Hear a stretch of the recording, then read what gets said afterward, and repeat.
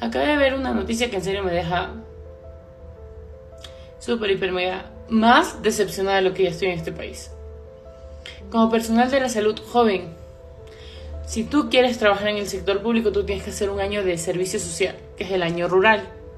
Un año necesario para tener como tu, tu permiso o aprobación de, para trabajar en el sector público, que te habilita como médico o profesional de la salud, licenciado, odontólogo, obstetriz.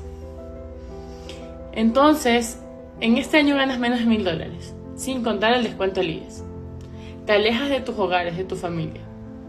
Muchas veces te tocas a un lugar donde tú en serio no querías ir porque es peligroso, porque cualquier cosa. Es lo que te tocó.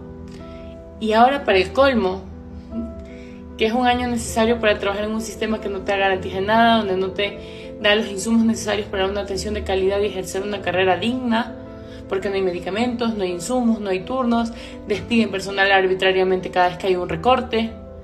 Bueno, muy a pesar de esto, ahora están vacunando el personal de salud de la rural.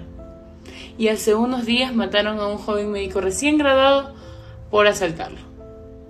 ¿Hasta cuándo? ¿En serio hasta cuándo vamos a seguir sobrellevando toda esta ineptitud del gobierno?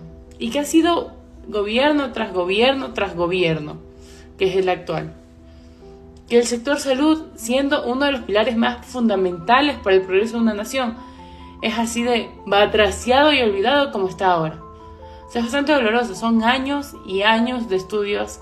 Son jóvenes con muchos sueños, con muchas ganas de ayudar a la gente, con muchas ganas de servir a su comunidad. Y que estas cosas sean las que te corten las alas simplemente no es justo.